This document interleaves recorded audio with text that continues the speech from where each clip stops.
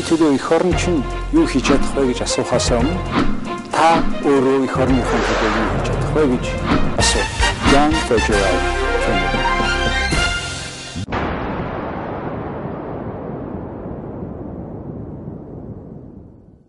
Сайн байцгаана хүнд үзэгчдээ. Өнөөдөр манай Defacto-ны нэвтрүүлгийн зочноор а үйлдвэрчний хөвлийн ерөнхийлөгч Ганбаатар оролцож байна. Сайн хүүгийн Ганбаатар Монгол Улсын их сургуулийг Герман инженерийн хэлний бэлтгэл, Монгол Улсын политехникийн их сургууль, Монголын үйлдвэрчний нэвлийн холбооны дэргэдэх хөдөлмөрийн дээд сургууль, Английн Hammersmith West London College-ийг тус тус төгссөн. Мэргэжил, инженер, эдийн засагч Хаан банкны газрын захирал, санхүү эдийн засгийн дээд сургууль, удирдлагын академид багш, улсын хурлах нийгэм эдийн засгийн зөвлөх, эрс шинжил хөдөлгөөний тэргүүн, 2006-аас 2007 оны 4 сар хүртэл үндэсний соём хөдөлгөөний удирдагч, Монголын лектор төвийн хүнд тэргүүлэгч, Монголын боловсрол шинжлэх ухааны үйлдвэрчний биелүүдийн холбооны болон Монголын үйлдвэрчний биелийн холбооны ерөнхийлөгчийн албыг хашиж байна.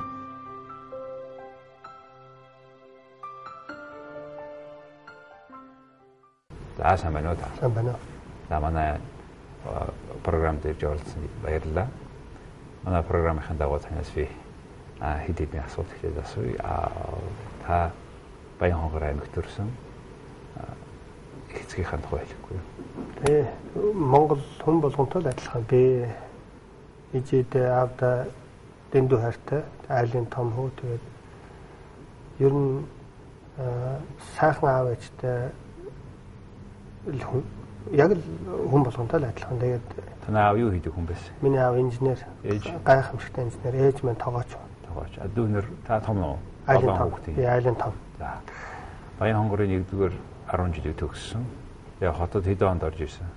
Хотод 1988 онд орж ирсэн. Ой, Герман инженерийн хэлний бэлтгэл сурж ирсэн. Нэг жил явсан. Тий. Дараа нь политехникийн дээд сургууль. Тэгээд хөдөлмөрийн дээд сургууль. Тэгээд Англи их сургууль явсан байна тий. Английн ямар хотод байсан? Английн би Лондонд байсан. Сайхан газар. А аль аль хэсэгт нь байсан? Hammersmith West London гэдэг чи одоо West тийм баруун талд. Илүү боломжтой. Тийм баруун хойд талд юм да. Илүү боломжтой яг нь монголчууд ер нь тэр яваар их байна. Яг тэгвэл элчинтэйгээ орох. Манай элчин их гоё газар байрлалтай шүү дээ. Hyde Park. Тийм. Hyde Park гэдэг их том парк хажууд байдаг. Тэгээд айгүй тийм нэр хүндтэй тийм сайхан газар бид байрлалтай. Тэгээд яг нөгөө монголчууд болсон нэлцингээ бараад нь бас бэвинэ бараад нь ингээд амьдрандаа. Ямар мэрэгчлээ төгссөн гэнэ англи? Англи би дулааны инженер. Аа тэгээ эдийн засгчаар төгссөн. За. За буцаж ирээд хэдэн онд ирсэн гэнэ Монголд? 2001 оны 5 сард би Монголд онгоцноос болж байна. 2001 оны 5 сар. Тэгээд за та бол одоо ийм хэрвээ ийм хурст юу кристалл ярих юм бол тийм үү? Болроор ярих юм бол их олон ийм өнгөтэй, олон талтай хүн. Нэг нь таны хүмүүс Англиад яваад ирсэн шин дараа анх Финшуй Ганбаатар гэж ярьдаг байсан. Яагаад Финшуй Ганбаатар болсон? Би өөрөө энэ нэрэндээ гэдэг юм уу та энэ хүмүүсийн танигдсан энэ байдалтай би үнэхээр сэтгэл өндөр байдаг. Яагаад гэвэл Фэншуй гэдэг бол Англид өнөөдөр гадаад банкны сургуульд, эдийн засгийн сургуульд зааж байгаа дээ. Сингапур, Хонконгд одоо бүгдийн заадаг. Бүр менежментийн сургууль заадаг. Яагаад гэвэл энэ өөрөө олон хүн шашин гэж боддог баг. Энийг хүн бол байгаль дэлхийтэйгээ яаж зөв зохицож амьдрах вэ гэдэг ухаан. Энэ бол ажиглалтын ухаан. Ажиглалтын ухаан. Тэгээд яг л тэгээд би энийг яг уу сонирхоод ингээд судлаад харж ясан дараад нь эргээд бодоход бол энэ Монголоос гаралтай юм байна гэдэгт би бүрэн итгэлтэй болсон. За. Ядаж монголчууд юм. Харин хятад гэдэг юм уу зүүн Азийнхаа энийг хитрхи хөгжүүлж өөрийнхөө нэр дээр брэнд болгосон талтай. За. Аа тэгээд энэ дээр нэг гол зүйл нь бол монголчууд нүүдэлчин. Бид дандаа байгаль дэлхийтэйгээ ойрхон ингэж харьцаж амьдардаг. Тэгээд байгаль дэлхийн ааш аран шинтэй уялдуулж өөрсдийнхөө үйл ажиллагааг зохицуулдаг. А Европынхан ч гэдэг юм уу бусад орнууд зарим орнууд бол байгаль дэлхийд өөрийнхөө юу хүсэлдээ байгаль дэлхийг зохицуулах гэж оролддог Энэ бүхэл бүтэн бол сэтгэлгээний хоёр өөр зүйл. Тэгээд энийг их бах хэмжээгээр зүгээр ямар ч байсан би Монголоос гарталтай гэж итгэдэг боловч би яг энийг нотолж тунхаглах нь бол хаашаа. А тэгээ ийм хүн төрөлхтний гэж хэлээ да. Одоо ийм ололт амжилт ажиглалтын ухаан. Японд нэг аягүй хүчтэй. Мэдээж хятад бол нэг хүчтэй байдаг баг. Сингапур энэ фэншуй буюу байгальтай хүний амьдрал хүн өөрөө зохицох энэ талаар нилээд үнцгийн орд нилээд хитэн лекц уншсан тийм ээ. Тэг уншсан. Тэгээд дараа нь таныг лектор Ганбаатар болсон. Тэр тухайгаа ярьж өгөө. Тэг яг хөө миний өөрийн сурсан гэдэг юм уу өөрийгөө сойж бэлдэж байсан мэрэгжил бол бизнес эдийн засаг банкны салбарт нэлээд хүчтэй мэрэгчлэлтэн болох юмсан бизнесийн салбарт бол би ер нь бол толгой зохицдог бизнесмен болно доо л гэж өөрийгөө олон жил бас гадаад оронд одоо бид тэгжил явж билдэж шүү дээ тэр тэр орноос ямар хуулийн судлаа таавалдах вэ? Шал өөр хуулийн орчинтой. Тэгэл яг бизнес менежментийн л их сурна эдийн засгийн сурна. Тэр талаараа их бэлдэж байсан. Тэгээд ирээд Монголд ирээд яг бизнес хийнэ гэвэл энэ хүмүүс буруу хөтэ ойлгосоо надад бол Монголд ирээд бизнес хийнэ гэдэг бол Монгол тэр чигээрээ мөнгө шүүд. Өгдөө мөнгө хийхэд хамгийн боломжтой газар өнөөдөр. Үнэхээр энэ хаасаагүй боломж. Тэгэд наран туул дээр нэлээд их бизнес орцсон хүн Баянгор аймгийн Баацхан сум ч юм уу Галууд сумын төв дээр очиод бизнес хийх гэж оролдох юм бол тэр бол одоо маш амархан зүйл шүү дээ. Яг Лондон гэдэг юм уу үнэхээр өнөөдөр бизнесийн хамгийн гол мэдээлэлүүд хамгийн гол ноу хаунууд явагдаж байгаа тэр газраас мэдээллийн сурж ирчээд бизнесийн гэдэг харьцангуй амархан боломжийн ажил шийдэл. Тэгээд яг уу банкнд ажилд ороод ингээд энэ чиглэлээр явсан боломжийн байна гэж бодож байсан. Харин миний зүрх сэтгэл шал өөр тийшээ залсан. Ягаад? Маш тавчхан хариулах юм бол Монгол оронд нэг хүн саятан болоод юм уу нэг хүн айхтар баян болоод юу л өөрсдүүл гэж харин олон олон хүнийг сайхан амьдруулдаг боломжийн төлөө хэн нэгэн хүн нь бусдаагаа нийлж бас яг тэгж явж байгаа зүрх сэтгэлээ өгөөд явж байгаа хүмүүстэй нийлэх нь илүү сонирхолтой илүү хүч сорсон ажил болов уу гэж. Та яг тэр үедээ 2006 онд эрс шинжилгээний хөдөлгөөн гэж гаргасан тэрний удирдагч нь байсан. Тэгээ 2006 оны 1-р сард автобусны билетээс болоо зэвсэгт бослог гаргах хэрэгтэй гэж ярьж ирсэн. Тэр ямар учир? Үнэн. 2006 онд автобусны үнийг шууд өсгсөн. 100 төгрөг байсныг 200 болгоод ингээд явсан. Тэгэхэд тухайн үедээ би хэлж байсан хүмүүсийн ард иргэдийн энэ цалин мөнгө маш муу байна. Энэ намайг одоо энэ рүү талтаж татаж оруулахаас өөр аргагүй. Тэр үчи одоо боломжийн ажил хийдэг байсан баг. Тэгэл татаж бүр энийг өөр хэн нэгэн хүн энэ дээр тэмцээсэй гэж бас харлгүй яг одоо хүн тэгэл давкал орсон. Тэгээд гол нь автобусны энэ лиценз одоо энэ автобусны энэ одоо шугамуудыг худалдаж мөнгө гэдэг бүхэл бүтэн паразитууд ийм хүрээлэл бий болсон. Одоо байхгүй болсон. Хотын тээврийн газар гэж. Одоо ямар ч байсан би тухайн үедээ тэмцэж байсан. Тэгээд тэр үед энэ тэмцлүүдийг хийгээд автобусны үнэн дээр зэвсэгт бослог гарах хэмжээний та нар хүмүүсийг ингэж зүдрээж зовоож байна. Тэгээд би яг зэвсэг бослогт уриаллаагүй зүгээр зэвсэгт бослог гарах хэмжээний хүртэл та нар хүмүүсийг ингэж зовоож байна. Хамгийн гол нь автобусанд та нар маргааш нисгэлээд 100 төгрөгөөр л зорч. 200 төгрөг гаргаад нэх нь 100 төгрөгийг надаас хурцж аваарай гэж ийм том мэрэгдэл тухай үедээ хийж байсан. Ер нь улс төр гэдэг юу юм бэ гэвэл бусдын өмнөөс хариуцлага өрөх урлагийг л хэлж байгаа шүү дээ. Тэгээд тухайн үедээ тээврийн газар намайг шүүхэд өгөөд шүүхэд нэлээд дуудагдаж яваад хэдэн тэрбумчлээд өргөний өрөнд ороод нэ том аврын автобусны холбоо бусад олон хотын захиргаанд намайг шүүхт өгөөд би төлнө л гэж бодож байсан. Гэхдээ хамгийн гол нь хугацааг нэг мянган жилээр тавьчаараач гэдэг юм. Тэгээд явсан. Тэгээд тийм л юмар эхэлж байсан. Эрс шинжлэх хөдөлгөөний гол зорилго юу вэ? Эрс шинжлэх хөдөлгөөний бүр анхны бүр зорилго бол бид олон юм руу хүчтэй төвлөрөхгүй хэдүүлээ Улаанбаатар хот дахь энэ муухай таасан тухайн үед Улаанбаатарын энэ асуудлаар маш хүчтэй хүчтэй иргэний холбоонд иргэний холбоонд тэгээд бүр гаргалгаануудыг гаргадаг байсан. Тэр маш чухал. Бүр хүн одоо өнөөдөр бэрхшээлийг хэлж болно. Гаргалгаа гаргадаг хүн их ховор болсон. Яг нь бидний олж харж яасан зүйл бол яг Улаанбаатар хотын дүүрэг захиргаа дэндүү хөлдөө байна. Та нар э, хүмүүст үйлчилж байгаа байгууллага шүү дээ. Та нар төв хороо биш, захиргаа биш, хаант улс биш. Тэгээд мэрэгжилтэн болгоно, дүүргийн мэрэгжилтэн болгоно. Хотын захиргааны ажилтан бүр хинч байсан. Гадна талдаа яг тэр хүнд юугаар чи үйлчлэх гэж байгаа юм? Юуны төлөө чи цалин авч байгаа юм? Юугаар үйлчилж байгаа юм? А тэгээд жишээ нь одоо 8 нар төрлийн барааны лиценз өгдөг хүн байлаа гэж бодъё. эсвэл одоо өөр юу гэдэг янз бүрийн ямар нэг юм үйлчлэх гэж байгаа. Тэгвэл та хүмүүсээс ямар ямар баримт хэрэгтэй юм бэ гэдгээ тодорхой хаалганыхаа гадаа эл тод бич. Эн чинь бүрэн байх юм бол тантай би заавал хоолнд орж юм уу таны ангичи хүүхдийг хайж олж уулзах шаардлагагүйгээр нарийн бичгчний ч баг энэ чинь яг бүрэн байгаад натуратор ч юм уу янз бүрийн байдлаар нь үнэн байд юм бол шууд тамга дараад өгөх ёстой. За тэгээ тийм болсон? Бид энэний төлөө тэмцсэн. За. Тодорхой үр дүнд хүрсэн. Тэгсэн энээс илүү том аюултай зүйл биднийг өөр зүйл рүү бүр ингээд сорж татаж орж байгаа. Яг энэ дээрээ би үр дүн гарсан гэж би хэлж чадж байгаа болохоос энэ бүхнийг арилгаж бол чадаагүй. Улаанбаатар хотын одоо ч гэсэн захиргаа руу ороход цагдаа магдагаар дамжин шүү. Тэр чууг нь бол нийслэлийн иргэдийн ордон байх хэрэгтэй биз? Тий, тий. Тэгэхээр тэр үед одоо ч энэ бэрхшээлүүд бас байгаа. Хамгийн гол нь энэ асуудлыг ингэж гаргаж тавиад а бид нь энийг болсон биш Эннээс өөр асуудал нээлттэй үлдсэн одоо тийм байгаа. Хинч үүдэндээ ямар асуудал шийдэг одоо бичээгүй байгаа тийм ээ. А зүгээр эхэндээ бичиж эхэлж байсан. Тухайн үед яг одоо энэ дээр та нэг гоё юм сануулчлаа. Өнөөдөр хүртэл тогтоолынхын дугаарыг би хэлж өгч чадна. Одоо 108 гэж байсан. 10 дугаар тий 10 дугаар албан даалгавар гэж байгаа. Бүр 10 дугаар албан даалгавар. Ерөнхий сайдын 10 дугаар албан даалгаврыг тэр үед гаргаж ирсэн. Ерөнхий сайд элбэг дорж байсан. Элбэг дорж байгаа ерөнхийлөгч байгаад Ерөнхий сайд. Ерөнхий сайд байсан. Маш чухал зүйл гаргасан.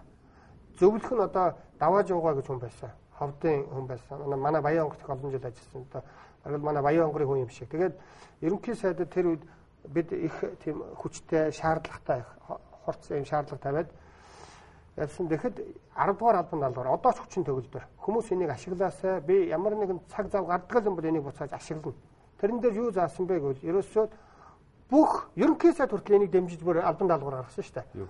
Бүх юу хийх гэж байгаа, юу яаж үйлчлэх гээд байгаа, ямар албан бичиг тооц шаардлагатай вэ гэдгээ баримтуудаа бүгдийг хүн хүн үзэгдэх үз, уншигдах үз, ойлгох үз байдлаар гадна талдаа бүр ширээт мөрөөцийн заасан. Яг гэвэл тэднээс ийм жижиг юм бичээд гадаа байгаа шүү дээ. Тэгэхээр хүн олж харахааргүй хийж болно шүү дээ энэ чинь. Бүр тэр мэрийг хүртэл гаргаад гадна талдаа өлгөө 10 дугаар албан даалгавар гайхамшигтай даалгавар гарч ирсэн. Өнөөдөр зарим нэг сумуудаар явж байхад яг энэ хэрэгжилт байдаг шүү харин. Бүүр ингээд одоо би Төв аймгийн Баянцэг суманд очиход гадна талдаа засаг дарга юу хийсэн? А би танд яаж үйлчлэх вэ? Бүх мэрэгчлэтнүүд нь ингээд байж байгаа. Тэрний хаялга би би ерөөсөө энэний төлөөнөөс юу ч болоогүй гэж хэлээгүй тодорхой жоох үр дүн гарч ирсэн ч хангалтгүй. Монголын төрийн үйл ажиллагаа нэг том давалгаа гараад тэр нь явсаар явсаар таны хийснээр даллаад явсаар байгаад хамгийн сүүл амхраад алга болсон. А энэ дээр би нэг зүйл хэл. Яг энэний араас байнгын цагаан хоолойтой бол ингээл байнгын дуурах биш. Энэ асуудлыг санаачлаад гаргаад ирэхэд зарим иргэд манай ард иргэд маань зүгээр өөрийнх нь бэрхшээлийг хэн нэгэн Амбатарч гэдэг юм хэн нэгэн хүн хувьчлаад авцсан гэж бодоод өөрт нь бэрхшээл үүсгэхээр тэр хаа болчихоо гэж асуудаг биш. Энэ асуудлыг ерөнхий сайд нь албан даалгавар гаргалаа. Хотын захиргаан дээр ийм тэгээд бүр тэмцэл явлаа. Одоо энэ юу болж байна гэж дор дороос нь шахах ёстой байтал чинь ягаад манай хорон дээр ирэхгүй байна даа. Энэ олон зуун мянган хорон дээр нэг хүн яаж очиж нэг холбоо яаж очих вэ. Тэгэхээр бид хамтын ажиллагаа их дутагддаг л гэсэн санаа хэлж байгаа шүү. За за иргэний нийгэм та төвхтэй байсан. Эхнээсээ таныг дөнгөж ирэхэд би анх уншиж ярьж байхыг чинь харсан. Rotary клуб дээр та нэг тэр үед Улаанбаатар UB Palace том олон мянган хүн суулгасан лекц уншдаг байсан. Та лекцийнхаа нэг удаагийн лекцийг бүх орлогыг Rotary клубүүдийн хийсэн эмэгтэйчүүдийн юу хорт хорт хавдрын тий сэргийлэх тийм арга хэмжээнд өгж ясыг санаж байна. Тэрнэд тэгээ би дотроо их талархаж ийсэн баярлалаа. А та соём гэж хөдөлгөөн бий болгосон. Одоо тэр тэр юу болж байна? Тэр ямар зорилготой байгуулсан? Тэр маш их хадал таны эхний хөдөлгөөн шиг хүчтэй хөдөлгөөн болсон. Тэр тухай хэлж өгөхгүй. Тий. Соём хөдөлгөөн бол мэдээж олон хүмүүс нийлж байгуулсан. Тэгээд э, хөдөлгөөн хөдөлгөөн өөрсдийнхөө өөрсдийнхөө байдлаар ингээд яваад байхын оронд олон хөдөлгөөнүүд нийлж нэгдсэн үйл ажиллагааг энэ хавартаа энэ намартаа гэж нэг хоёр том акцийг хамтарч хийж яа гэдэг байдлаар эрс шинжлэх хөдөлгөөн бусад олон хөдөлгөөнүүд оролцсон. Энэ дээр бол бүр ардсан холбооч орж исэн. Монголын ардсан холбоо байна. Бусад улаан сарнаа байна хувьсгалт намын ч байна уу, ардсан намын ч байна уу, иргэний хөдөлгөөний ч байна уу бүгд нийлж орж хамтарч ажиллая. Төрийн бас байгуулга уу? Төрийн бас байгуулга. Одоо хийн дарга нь. Одоо л хавгч өгөөж миний дотны анд бас журмын нөхөр маань удирдах байгаа. Та удирдах зүйлд нь байдаг одоо. Одоо бол би үйлдвэрчний холбоонд байгаа учраас яг энэ удирдах зүйл бол гол зорилго нь юу юм тэгвэл соём. Одоо соём бол маш энэ энэ үйл ажиллагаануудыг хооронд нь нэгтгсэн үйл ажиллагаа зохион байгуулъя гэсэн ийм байдлаар бид гарсан. А тэгээд соём хөдөлгөөний одоогийн хийж байгаа үйл ажиллагаануудаас харахад газрын авилгалтай холбоотой тал дээр нэх бид ийм хийчлээ шүү, тийм хийчлээ шүү гэж ярихгүй ч гэсэндээ маш их үр дүнтэй адилж байгаа. Жишээ нь би зүгээр танд хэлэхэд одоо лавгжуу, манай занаа эгч байна, өөр одоо бусад бор хүүхэн гэж хүн байгаа маш олон идэвхтэй хүмүүсийн хөдөлмөрийг би бас энэ таны одоо сайхан боломж надад өгч байгаад ярихад миний мэдхийг бараг 10-аад ард иргэдийн маань дээрэмдээд газрын навцсан тэгээ бүр байшингаа барьсан 5 ширхэг байгаа. Газруудыг буцаагаад тэр ядарсан хүүхдүүдэд тэр тоглоомын талбайгаа булаалгацсан хүүхдүүдэд тэр наралдаг газраа булаалгацсан хөгшчүүдэд өгөх ийм том ажлыг тэд хийсэн. 10 одоо энэ дээр бол Одоо шийж байгаа. Одоо ч хийж байгаа. Тэгээд тэрний нэг нь гэдэг ихэж одоо танк тогшины цаана нэг юм одоо хүмүүсийн байртай ингээ бүр холбоод барьсан байдаг. Би тэрний хажуугаар гарах болгондоо боддтой.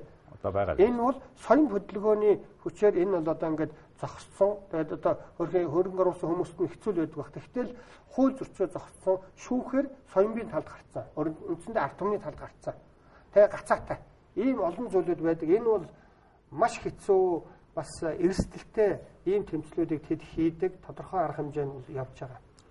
За тэгээд та ингэж э, иргэний нийгмийн үйл ажиллагаанд идэвхтэй оролцоор явж байгаад хамгийн сүүлд Монголын бас ер нь нэлээд гайгүй их олон жилийн түүхтэй олон нийтийн байгууллага Монголын үйлдвэрчний холбоо гэж байсан тийм энэний дараагаар сонгогдсон. Хэдэн онд вэ? 2007 онд би сонгогдсон. Хэдэн сар? 6 сард. 6 дугаар сар. Та одоо энэ ажил дээр 5 жил болж байгаа юм байна тий. 5 жил болох гэж байна. 4 жил гаруй. 4 жил. Хамгийн гол өөрчлөлт юу хийсэн? Хамгийн гол зүйл гэвэл за би 3 зүйл хэлэхгүй болохгүй байна. Нэгдүгээр зүйл яг үйлдвэрчэнтэй холбоотой зүйл гэвэл хөдөлмөрийн маргаан шуурхаа зохицуулах салбар хороо гэдэг эзэд засгийн газар үйлдвэрчин 3 гуруулаа оролцсон яг л хөдөлмөрийн шүүх шиг. Яг шүүх гэж хэлж болохгүй. Шүүхээс өмнө асуудлыг зохицуулдаг юм хөдөлмөрийн маргааныг шуурхаа зохицуулдаг тийм салбар хороодыг дүүрэг болгонд аймаг болгонд байгуулсан. Энийг байгуулахад тухайн үеийн хөдөлмөрийн яамны сайд байсан Дэмбрэлга гайхамшигтай тусалсан. Энэ хүн бол үнэхээр төрийн хүн. Үнэхээр одоо ийм чухал юмыг бол ямар ч улс төрч энийг бол одоо нөгөө өөрийнх нь эсрэг шүүмжилдэг одоо үйлдвэрч хүч авчин ч гэдэг юм ингээд айгүй олон бэрхшээл дундаас энийг одоо чин зэрэг сайд дэд сайднаас ингээд энийг бид шийдвэр чадсан. Засгийн газар энэнээр иргэдийн хурлаараа дамжуулж одоо зардлыг гаргадаг болсон. За. Хоёрдугаар зүйл гэвэл за яг энэний хажуугаар хууль эрх зүйн үн төлбөргүй зөвлөгөө өгдөг төвийг аймаг болгонд нийслэлийн үйлдвэрчний холбоон дээр а төв зөвлөлийн үйлдвэрчний холбоон дээр байгуулсан. Хөдөлмөрийн харилцааны үн төлбөргүй зөвлөгөө. Өнөөдөр ажлаас халагдчихад уйлаад явж байгаа хүмүүс Улаанбаатар хот. Улаанбаатар хотод нийслэлийн үйлдвэрчний холбоон дээр ирнэ. А Монголын үйлдвэрчний эвлийн төв зөвлөл дээр ирнэ. А дүүрэг дээр бол хөдөлмөрийн маргаан шуурхай зохицуул салбар хороонд очино. Тэн дээр шийдэгдэхгүй бол улсын хөдөлмөрийн маргаан шуурхай зохицуул салбар хороо гэж байгаа. Аймаг болгонд байгаа. А гурав а яг би нэг юмныхаа дотор нь гурав хуваачаа. За тэгээ өмгөөлийн баг. А хоёр дахь том зүйл гэвэл энд би яг сэтгэл яг хүссэн хэмжээндээ хүрэхгүй байгаа ч гэсэндээ томоохон хийсэн зүйлийн эхлэл гэж тавина 50 60% таа байгаа. Юу вэ гэвэл хөдөлмөрийн хяналт хийх эрхийг үйлдвэрчний эвлэл засгийн газартай гэрээ хийж авсан. Энэ дээр мэрэгжлийн хяналтын ерөнхий газар юугийн хянах юм? Хөдөлмөрийн хяналт. Хөдөлмөрийнх нь юм уу? Оо, хөдөлмөрийн хяналт дотроо дөрөв хувааж байгаа. Хөдөлмөрийн хууль тогтоомжийн хэрэгжилт, цалин хөлсний хууль тогтоомжийн хэрэгжилт, хөдөлмөр аюулгүй байдал эрүүл ахуйн хэрэгжилт, а тий хамтын гэрээ хэлцээр. Одоо хамтын гэрээ хэлцээр бол энэ тэндгүй гурилдчихээн шүү дээ. Энэ болгоны хянж хамгаална. Бүр цаад утх нь ажлын байран дээр ажил олгогч гэдэг юм уу тэр хүн ажилчин хоёрын хооронд бол байглаараа нэгэн дарангуулагч байдаг. Тэгэхээр энийг тэнцвэржүүлэхийн тулд хөдөлмөрийн хяналт гэж энэ ажлыг төрөөс том систем олон улсын төвшин бий болгоцсон. Тохирдсон олон улсын хөдөлмөрийн байгууллагын бий болгосон сүлжээ арга хэмжээнүүд байгаа тий. Тий. Энэ дээр маш олон олон улсын конвенцт манайх нэгдсэн байгаа. Бид зөв энийг яг товчхон хэлийг бол налахад өнөөдөр дөрвөн хүн уурхаад одоо бүтээд даруулаад нас барлаа гэхэд аврах албаныхаа ажил хийсэн үл гэж одоо улс орон даяараа телевизээр яриад ах юм. Тэрний цаана хөдөлмөрийн улсын байцаагч байсан уу? Тэнд үлдвэрчний эвлэл нь хаа байсан юм? үйлдвэрчний хэмжээ хөдөлмөрийн байцаагч юу хийж ирсэн? Тэнд хөдөлмөрийн маргаан шуурхай зогсоон салбар хороо гэж энэ хаанаас юм? Энийг энэ механизмуудыг бид ажилд оруулах хэрэгтэй. Зүгээр одоо эхэлж байгаа боломжийн ажил. Саяхан хэдэн хүн нас орчлоо шүү дээ. Тэгэхээр байсан тэр хүмүүс ч. Тэр хүмүүс бүгдөө ямар ч бас энэ системийг бий болгох нь миний ажил. За. Энэ систем ажиллах уугүй жишээ нь. Баян хонголт маш сайн ажиллаж байгаа, Ховдод сайн ажиллаж байгаа, Эрдэнэт сайн ажиллаж байгаа, Улаанбаатарын зарим дүүрэгт их сайн, зарим дүүрэгтүр бүр бүр их муу байгаа ч гэдэг юм. Энэ янз бүр. Дараагийн гурав дахь ажил. Гурав энэ бол дандаа системийн ажлууд. Нөгөө үйлдвэрчин дотроо системийн өөрчлөлтүүд хийх, механизмыг өөрчлөх. Айл болгонд очиж, компани болгонд очиж би зарга хийж чадахгүй, За. заргалдах байгаа хүн туслах механизмыг бүрдүүл. За их э, том юмыг л их богинохон ярих шаардлага гараад байна. би танаас маш их юм асуумаар байгаа учраас. Нийгмийн даатгал, За. эрүүл мэндийн даатгал, Даатгал а цалин хөлсний э, тогт э, асуудал, а тэгээд хамгийн гол зүйл гэвэл хөдөлмөрийн хөдөлмөр нийгмийн төслийн гурван талт үндэсний хороо гэдгийг шин шатанд гаргаж нийгэмд түншлэл, нийгэмд ойлголцол гэдгийг бий болгох нь одоо ардчил юм байна. Засгийн газар гэдэг юм уу, улс төрчид бүхнийг дангаараа шийдэхгүй. Ард түмний төлөөл болсон үйлдвэрчний аюултай. А бизнесмэнүүдийн төлөөл болсон эзэдийн холбоотой нөө та- таксын гол авч байгаа улсууд тэдний цалин тавьж байгаа хүмүүстэй зөвлөлтийг энэ механизмыг ам оруулъя гэдэгт л тодорхой өөрчлөлтүүд, тодорхой ойлголтуудыг өгсөн болов уу гэж бодож байна. За би саяхан таны ярьсан зүйлүүдээс Монголын бүх иргэдийг хамарсан даатгалын системтэй холбоотой асуудал руу дэлгэрэнгүй орно. Тэрнээс өмнө зүгээр техникийн чанартай таны хариуцж байгаа байгууллагын хувьд хэд асуулт байна. Монголын үйлдвэрчний холбоо.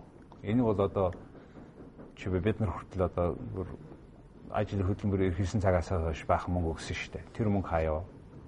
Маш зөв. Одоо би хоёр дахь өдөр болго иргэдтэй уулздаг. За. Маш олон ахмадууд бол яг энэ талаар бас боорлуулдаг. За. Миний хариулдаг юм ч гэсэн бас точ шиг За. байна. Жасрагон болон Бямсрангон засгийн газрын үед л бүх юма буцаагаад авсан шүү дээ гэж төр өөрөө буцаагаад авсан. Одоо шаргалжуут байна уу? Одоо энэ манай энэ бүх амралтын газрууд бүгдөөрөнгийн засгийн газар буцаагаад авсан. За. Манайд ерөөсөө байдаг юм нь хэтгээл одоо байшингууд байгаа. А гэхдээ энэ болгоныг буцаагаад бид ард түмэнд нь зарцуулж байгаа. Тухайн үедээ бий болгосон маш их олон хөрөнгийг засгийн газар буцаагаад авсан. За тийм хэлбэрээр авчиж. За тэгэхээр одоо тэр чинь ховшигдаа явцсан одоо ер нь бол тэр тэр мөнгө өгсөө одоо бид нар шиг надаас ахмад олон хүмүүсийн бол үндсэндээ үндсдээ нөгөө систем солигдсны ил одоо гарсан гарцсан юм байна л да. Та хэллээ те хэдэн башинтай гэж хэдэн башин. Манайх өнөөдөр Монголын үйлдвэрчний хөвлийн холбооны төв зөвлөлийн байр гэж байгаа. Талбай талбай. байр. Үйлдвэрчний соёлын төв ордон гэж байгаа. тийм байна. Аа за үйлдвэрчний хөвлийн төв зөвлөлийн бааз гэж байгаа. Замын цагдаагийн зүүн талд. Хөдөлмөрийн дээд сургууль гэж байгаа. За. сонгон амралт байгаа. Амралтуудаас ганцхан сонгон амралт байгаа. Ийм таван объект байгаа. Энийний талаар үйлдвэрчний эвлэлийн өөрийнхөө гишүүн байгууллагуудад бид нэ- нээлттэй байнга тайлангаа тавьдаг. А тэгээд ерөнхий зөвлөлөөр байнга тайлангаа баталгаажуулдаг. А энэ 6 сараас хойш одоо бид их хурлынхаа дараа нас эхлээд нийт ард түмэнд олон нийтэд энэний орлого зарлагыг сонин дээр мэдээлж яая гэж байгаа. Тэрнээс өмнө та хөндлөнгийн хяналт хийлгсэн үү? Хөндлөнгийн аудит Бид бүр үүрэгтэй шүү дээ. Байнга хэлэгдэв. хийлгдэг. За. За энэ бүхний хэмжээнд энэс гадна улсаас мөнгө авдаг уу? Улсаас нэг төрөхгүй. Танай нийт жилийн хорлого хэдий? нэг тэрбум 200 сая төгрөг. Нэг А, сая доллар. намайг анх ажил авахад нэг э, 160 сая төгрөгөд байсан. За ойлгосон. За тэр яасныг би асуухгүй зүгээр. Энэ бол манай санхүү аж ахуйн алба байна. Манай хамт олон гайхамшигтай ажилласан. Энэ байгууллага дээр ирснээс Хэдэн хүн хойш ажилтны тантай? Ер нь таны доор миний доор нэг э, яг үйлчилгээний ажилтнуудаас ч би Мэдээж шүү оруулаад. Тий, тэгээд нэг 60 хүн ажилтдаг. энэ сургууль мургуулаар ч нөгөө талбай тэднээсээ оролцуулах нь 200 нийт нийт 240 та хүн. 200 за 250 хүнийг ажилуулад энэ 4 5 объекттай тэгээд 1.2 тэрбум төгрөгийн орлоготой ажиллаад тэгээд үйл ажиллагаанд чинь хүрдэг. Мэдээж үйл ажиллагаанд дандаа халаалт хүйтэн тэрэнд чинь бүгдээр ороо явчихна. дандаа нэмэлт мөнгө хэрэг гардаг. Тэгээд бид энэ дээр олон улсын төсөл хөтөлбөрүүд дээр нэлээд хандах хичээдэг. А тэгээд энэ дээр зүгээр яг нэг нэгэн санхүү аж ахуйн алба ярьж л байгаа бол бид үйлдвэрчний хөвлөл дээр одоо манай хамт олон энэ ингээд миний одоо би хамт олонтойгоо ажилласнаас хойш бол маш олон объектуудыг бид буцааж авч байгаа. Урд нь одоо бас э, янз бүрийн улс төрийн шалтгаанаас болоод объектуудаа хувьчлах юм уу худалдах юм уу янз бүрийн тийм болж ирсэн бол түрээссэн байсан байх бас бүрийн түрээссэн. Тэгээ бүр хамгийн гол нь бүр бүр бүр буцаа бүр хүнд өгцсөн байсан. Тэднээсийг бид шүүхтэд заргалдаж одоо 3 дахь жилдээ тойрж байна. Одоо чинь нэг том ард нь одоо нэг том цайны газар байдаг шүү дээ манай одоо хуучин хөдөлмөр заал байлаа шүү дээ. Тэрийгээ бид буцааж авч байгаа. Энэ бол мэдээж надад их их цагийн маань үрдэг хэдээсэндээ манай санхүү аж ахуйн албаныхны маш их хөдөлмөр. Үнэхээр их нэр их хөдөлмөр. Шүүхтэр байнга очиж дуудагдана. Тэгэл асуун бид авч байгаа. А дээр нь хоёр газараа бид бас буцаагаад авсан. Аа зэрэглэлийн маш том. Энэ бол олон түмний өмч. Энийг буцааж авч байгаа. Нэг нь одоо би энэ ташрамт хэлэхэд Newcom гэдэг одоо Японы хөрөнгө оруулалттай компани байдаг шүү дээ. За. Энэ компанид өмнөх одоо зарим санхүү аж ахуйн албанд байсан улсууд маань тэднээс ямар нэгэн одоо бий бол хувилцсан гэж боддог. Тэгээд өгцөн байсан юмыг бид буцаагаад авах аим маш их тэмцэл хийж хахад Newcom-ын удирдлагууд үнэхээр ёс зүйтэй бас ард түмний өмнө хариуцлага үүрсэн компани юм болов. За бүр тэдний нэр дээр гарцсан байгаа шүү дээ энэ бүх. Би ч одоо бүр ичих болсон шүү дээ. Энд чинь тэр конторынхны өмнө одоо би танаа энэ юм дээр чаддгаар одоо сексуал цуглаа янз бүрийн тэмцэл хийнэ мэнэ гэдэг дээрээ тулж байгаа шүү дээ бүр ийм байхад биднийг тэгж их айхаар зовоо зүдрэхгүйгээр тэгтэл бүтэн жил хагас хөөцөлсөн л та. Өгсөн. Ингээд бид маш их босаж авсан юм уу? Бүр газрууд авсан. Газрууд авсан. Тэгээд энэ бол манай хамт олонны маань маш их хөдөлмөр. Энэ болгоныг хүмүүст хэлэхэд над их гоё байдаг. Мэдээж байгууллага дотроо гишүүн байгууллагуудаа энийг бол бүгд мэдж байгаа л да. Ер нь бол нийтийн өмч энэ олон зуун одоо 100 мянган хүмүүсийн гишүүдийн төлөө өмчн дээр маш их тийм харам хариуцлагатай байх хэрэгтэй. Тэгээ миний хүсэж байгаа нэг зүйл гэвэл өмчтэй холбоотой энэ худалдах гэдэг юм уу асуудлыг бол газар мазар янз бүрийн одоо бол ерөнхий зөвлөлийн хурлаар шийддэг. Бүр их хурлаараа шийдэх хэрэгтэй. Энэ бол бүр дэндүү том асуудлаа гэдгийг бас Баатар даргаыг хотын дарга болгочмоор юм байна. Хичнээн олон хөрөнгө буцааж явах бол та. Гол хамгийн чухал асуудал ярмаар байна. Энэ өдрийн ярилцлагын нэлээд би хамгийн чухал хэсэг гэж бодож байна. Та үйлдвэрчийн дарга болсныхаа дараа тэтгэврийн сангийн асуудлыг маш хүчтэй босгосон. Саяхан эрүүл мэндийн сангийн тухай тодорхой тоо баримттай шалгалтууд хийж энэ хоёулаа тус тусд нь яри. Нэгдүгээр Монгол улсын тэтгэврийн сан хаа байна? Тэ тэтгэвэр Монгол улсын тэтгэвэр өнөөдөр тэтгэврийн сан яг нэг үйлдвэрчний татвар шиг бүхнээс хараад төлсөн мөнгө явж байгаа шүү. Явж байгаа. Энэ бол маш хариуцлагатай аюултай. Энийг таныг асуусанд би яагаад их баярлж байна гэвэл германчуудтай уулзаад ярьж хахад Одоо манай Чингис шиг Гитлерээ бас жоохон өмөөрөх бахтаа гэж бодоход ямар ч герман хүн Гитлерт их дургу байдаг. Би гайхаад асуусан. Яагаад дай хийсэнд нь тэгж байгаа юм уу гэдгсэн. Яг тийм биш. Яг явнаас болоод тэр хүн тийм таанаа үзэн яддаг юм гэсэн. Яагаад гэвэл тэр хүн бидний ирээдүгөө баталгаажуулж төлсөн тэтгэврийн мөнгөөр тийм ээ тэр дай хийсэн. Тэр зэвсэглэл тэр их том дай бидний мөнгөөр тэтгэврийн мөнгөөр хийцэнтэл бид хамгийн бухимддаг. Тэр шиг өнөөдөр бидний тэтгэврийн мөнгө хаа байна гэдэг бол энэ бол хамгийн том улс төрийн асуулт. Өнөөдрийн намуудын гол ярих зүйл. Өнөөдөр энийг хин нэгэн үйлдвэрчний нэг нэг итгэвтэн нөхрөл ингээд гүүгээд байдаг зүйл биш. Энэ бол улс төр. Улс төр бол ерөөсөө тэтгэвэр ажлын байр хоёр л байдаг шүү дээ. Энийн хоёрыг дагалдуулаад боловсрол эрүүл мэнд хоёрын дагалдаж гарч ирдэг. Тэгэхээр энэ мөнгө байхгүй байгаа. Би гэхдээ идцэн ууцсан гэж хэлсэнгүү. Харин энэ мөнгийг бий болох тал дээр маш нааштай үр дүнгууд гарч байгаа. Ард иргэдэдээ би хандаж хэлэхэд тэтгэврийн тогтолцоо гэдэг бол ихтгэлцлийн тогтолцоо тийм ээ? Ихтгэлцлийн тогтолцоо.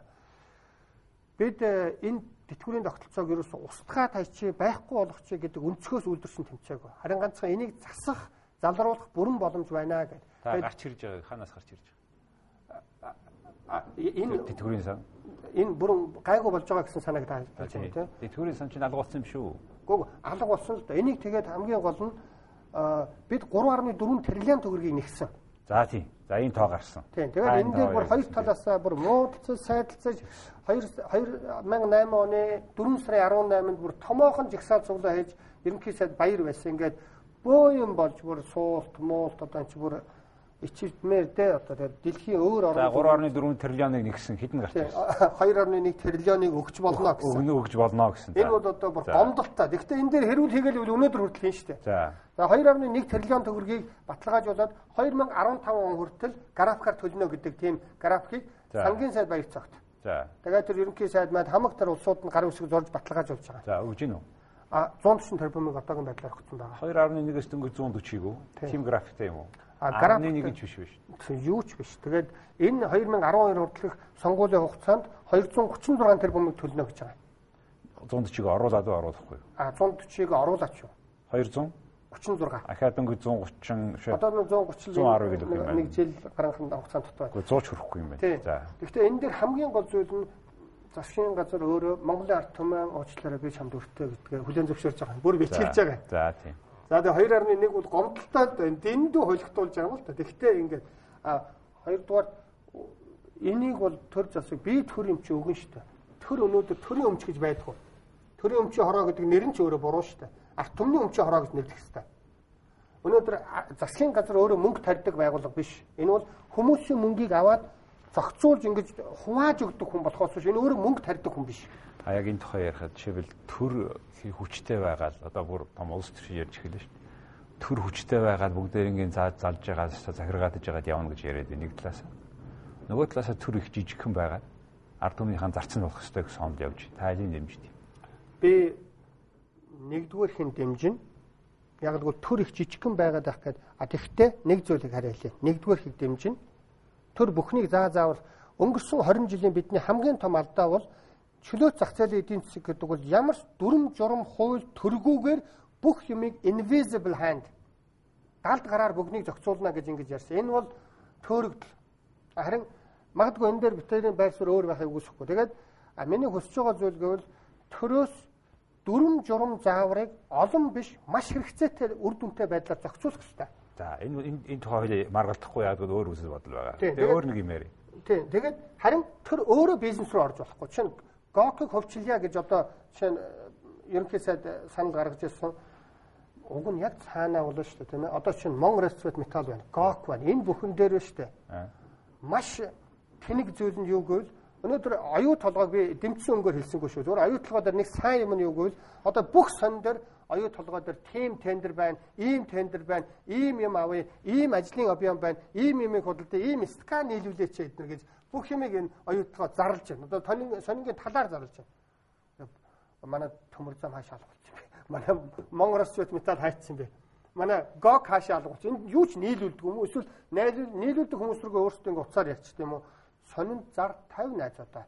Тэгэхээр би энд эндээс яг чухал зүйл гарч ирж байна. Төр бизнес рүү ингэж өөрөө гутгалдаж орохгүй гэдэгтээ битээ нэг баг. Энийг харин битээ дүрм журмгүй байна гэж битээ ойлгооч. Харин дүрм журм заавраа төр айгүй сайн гарах хэрэгтэй. Жишээ нь оюу толгойлтой хийсэн гэрээ бол хамгийн ачаагүй гэрээ хийсэн. Энэ бол төр ажлаа хийгээгүй. Харин Фридланд бол өөрийнхөө хувьд гэрийн даалгавраа маш сайн хийсэн гэсэн үг. А төр өөрийнхөө энэ ажил руу орох хэрэгтэй байтал чинь гэрийн энэ гэрээ журм дүрм журм заавар хууль руугаа орохгүйгээр яг гогш ингээд өөрөө ингээд мөнгө рүү ордог нь буруу гэсэн ийм санааг л би хэлэх гэж хэлж байгаа. Дэндүү том сэдв. дараагийн сонгуулийн дараа саяхан хэлсэн гурван байгууллага нэмэх нь мяд бүх шаардлагатай тендер сонин дээр гарна гэж та итгэж гинүү үгүй юу? Би дэндүү өөдрөг үзэлтэй. Ямар ч байсан. За сайн байна. Тэгвэл их сайн байна. Та олон хүн ажилгүй болох гэж байна. За тэр яах вэ? Дараагийн асуудал. Ялангуяа төрийн ажилтнуудаас тийм. За дараагийн асуудал. Эрүүл мэндийн даатгал хаа. Хэдэн төгрөг хаана вэ? Асуу яг ингэж 3.4 триллион юм уу хэд вэ? яг тэ. Тэр нөгөө хо- 2.1 триллионыг өгнө гэсэн дотор чинь 40% нь эрүүл мэндийн даатгал. За яг энэ чинь нөгөө том пул бассейн руу оруулчихж байгаа шүү дээ.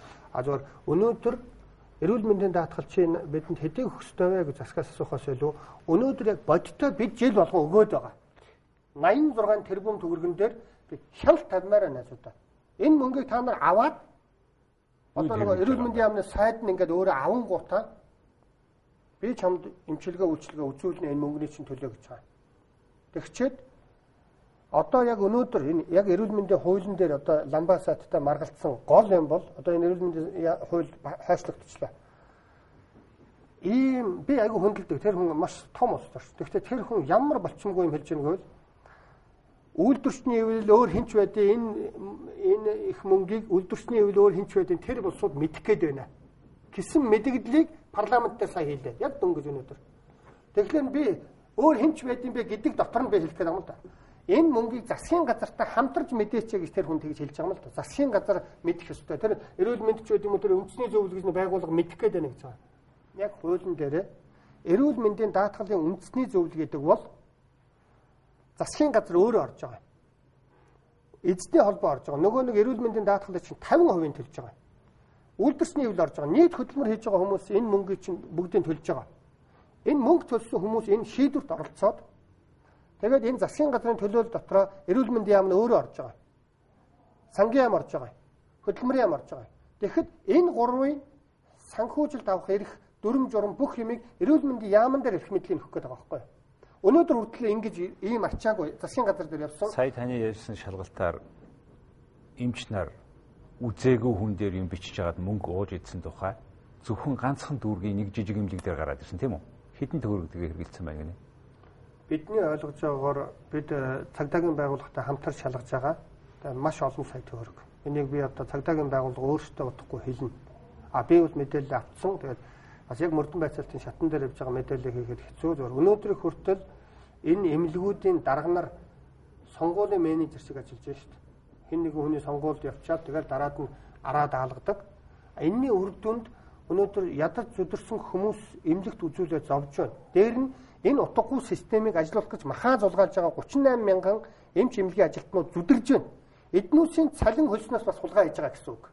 Өнөөдөр тэгэхээр маш доогоор юм байлээ шүү. Маш доогоор. Эднүүсийн цалин би зүгээр энэ энэ миний тэмцээд байгаа энэ тэмцэл дээр жоохон наашаа үр дүн гарахад нийт эмнэлгийн ажилтнууд 3 шатлал дээр 40% цалин нэмэгдэнэ. Улсын эмчийн дундад цалин нь хувийн байгууллагын цэвэрлэгчийн цалинтай адилхан байна. Үнэн.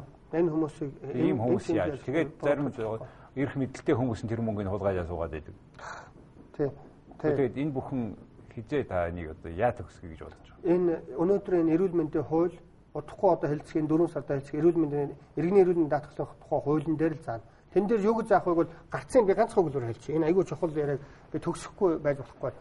Ерөөсөө та эрүүл мэндийн яамны сайд гэдэг өөрийгөө бодчих. Би одоо даатгуулагч мөнгөө төлсөн. Цалингаас 20% танд эрүүл мэндийнхаа үйлчлэгээ авах гэж үзүүлсэн. Би танаас эрүүл мэндийн энэ энэ яамны эмнэлгүүдээс чинь үйлчлэгийг гэрээгээр авна. Тэгэхээр би танд 86 тэрбум эрх мэдлийг бүгдийг өгчхөд та надад ямар гэрээгээр ямар үйлчлэгээ үзүүлэх вэ гэвэл 100% та мэдэх болчиход байгаа байхгүй. Тэгэхээр гэрээ хоёр талаасаа байх хэрэгтэй. Ядаж хоёр юм уу гурав талаасаа. Тэгэхээр та надад надад ямар үйлчлэгийг яаж үзүүлэх вэ гэдгийг миний мөнгийг авч байгаа тарифа та өөрөө тогтоох болчихж байгаа байхгүй? Энэ бол дээрм. Энэ бол ловер. Түүнээс гадна одоо хэрвээ би одоо ийм удирдлага байгаа бол танд өгөх сонирхолгүй байгаагийн нэг шалтгаан бол хэрвээ сайд дарга нар эмчнүүрийг шаардлага гарах юм бол гадаадад явах зардын тэндээс ч авч байгаа байхгүй. Та хувьд тийм бол тэр очиртай газар руу яв. Хэрвээ энэ улсын төр засаг нь өөрийнхөө төрийн имчилгээний системд итгэхгүй юм бол өөрөөсөө өвдөхөөрөө бидний мөнгөөр гадаад явдаг тусгай эрхтэй юм бол яаж энэ хүмүүсийн ажлыг хийдэг юм бэ? Тийм учраас манай иргэдийн хяналтыг хийх ёстой биз дээ.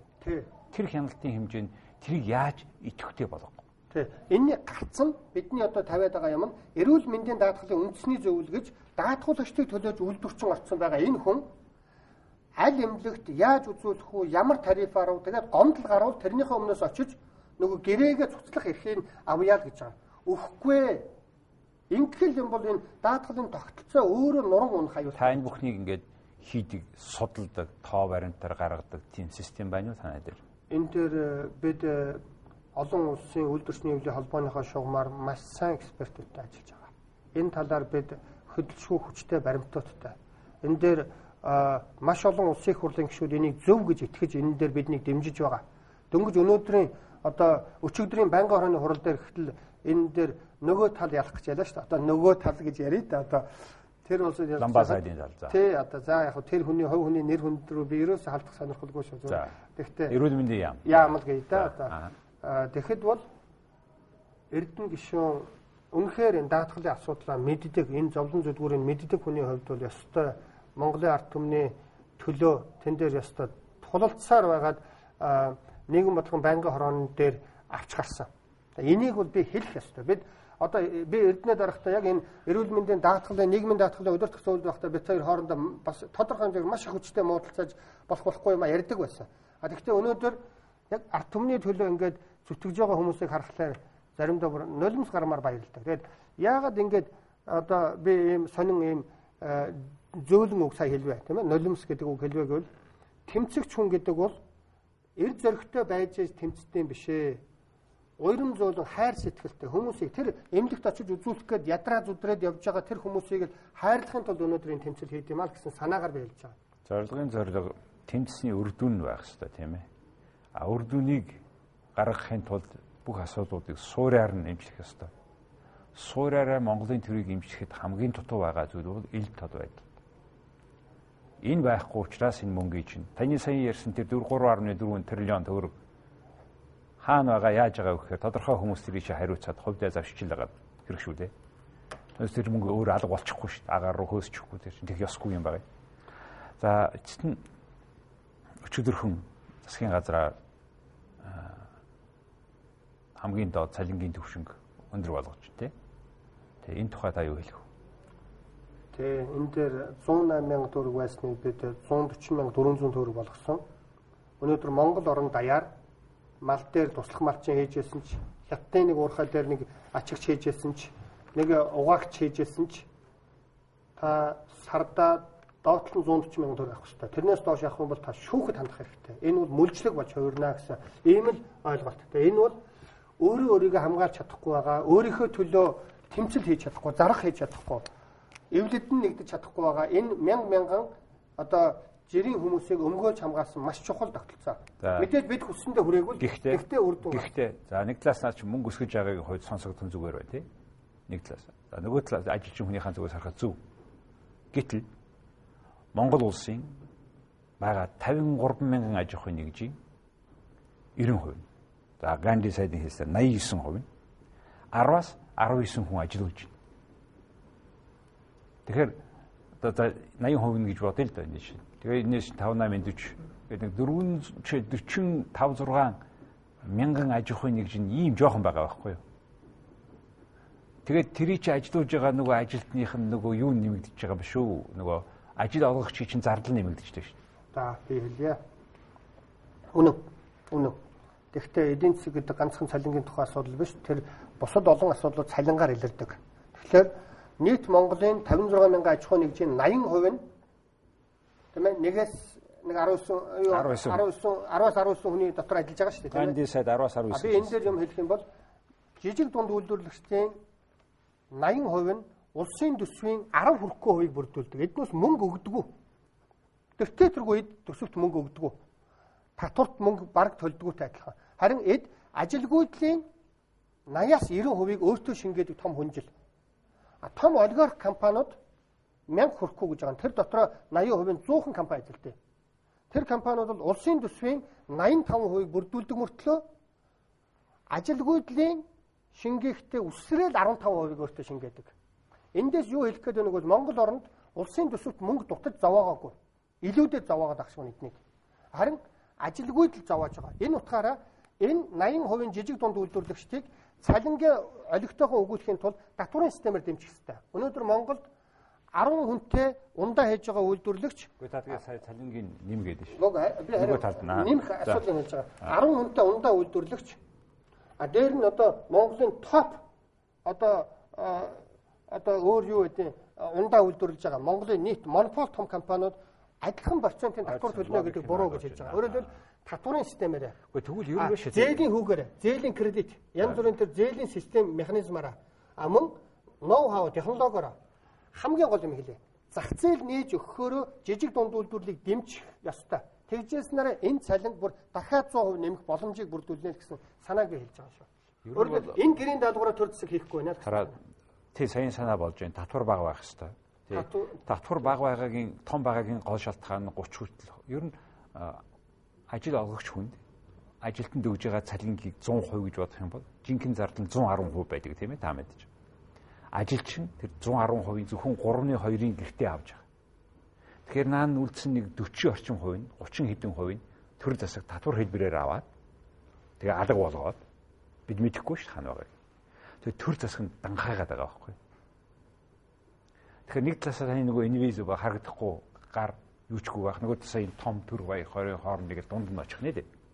Монгол улс төрийн Монгол улсын Монгол улсууд хамгийн дангар төртэй улсуудын нэг шүү дээ. Дотоодын нэр бүтээгдэхүүнээсээ 50%-аас гараа явцсан. Тийм үү? Аа, зайд тустай яриа. Тэгэхдээ өөр нэг юм санаа байж болох уу та үйлдвэрчний холбооны ерөнхийлөгчийн хувьд хэрвээ үнэхээр 19 хүртэл хүн ажилуулдаг компани манай Монголын бүх компани 80% юм бол тэгээд тэдэрт ингээд татварын 10% ч өгдөггүй юм хүрдэггүй юм бол татвараа чөөж хүлээс бүгдээр ингээд А яг тий энэ дээрээс яг эдийн засгийн дунд их маргаа явдаг. Татвараа 0 ч болдгоо мó гэхэд тэгэхээр эдийн засгийн энэ дээр 0хгүй гэж хэлдэг ганцхан шалтгаан байдаг. Ягаад гэвэл наадах чинь ирээдүйн том компани. Ирээдүйн одоо бүртгэлийн үүднээс хийж тий байгаа. бүртгэлийн үүднээс хийж байгаа. Тэгээд 3% болчихгүй. 5% харин тэгж болно. 1% ч юм уу. Тий. Хамгийн гол нь одоо байгаа татварыг бууруулах тухай ярихгүйгээр дээр нь байгаа улсуудын шатлалыг хоёр байна уу гурван шатлалтай болгож болно. За яг хоёр шатлалтай. Тэгээд тэрнийг өсөлтийн сайжруул тэр том улсуудаас том татвар авах хэрэгтэй. Өнөөдөр том нөгөө талаасаа тэр том улсууд чинь манай эдийн засгийг хөдөлгөж авч авч явах хүмүүс биш. тэгтээ тэрнийг нь тэрнийхэн төлөө шийдэж болох юм уу? Гэхдээ Mobicom чинь одоо юу гэдэг одоо том хараа гэдэг юм уу спирт балуурамч гэдэг юм уу одоо энэ том том компаниуд хязгаарч татвараас болж дампуурдаг нэгдүгээрт. Эд бол дампуурах юм бол менежментээс маркетингаас а, гуравдугаар улсраас болж дампуурдаг. Эд бол мөнгөний багалзуурн дээр суудсан улсууд. А энэ тэгээд энэ нөгөө би түрүүний ярьсан нөгөө 100 аж ахуй нэгж гэж байгаа шүү дээ. Татварын нийт 80% бүрдүүлдэг 100 аж ахуй нэгж. Ихэнх нь одоо чинь төмөр замч гэдэг юм уу, гокч гэдэг юм уу, Монгорсветмет гэдэг юм уу, одоо Mobicom гэдэг юм уу бүгдөө 50 орчим хувь нь дандаа гадаадын хөрөнгө оруулагчтай. Энэ татварыг дээшлүүлснээр гадагшаа урсж байгаа мөнгөний 50% зогсооно гэсэн санаа.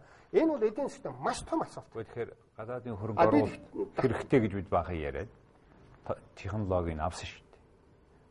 А тэгэхдээ нэг зүйл хэлье. Монгол оронд өнөөдөр юу болохгүй байна вэ гэвэл Монгол оронд нийгмийн баялаг ингээд бүтээгдээд буцаагаад хуваарлахдагтай шог байна л гэж байгаа. Хэн бүтээж байгаа нийгмийн баялагийг? Нийгэм баялагыг жирийн хөдөлмөрчин хүмүүс бүтээдэг.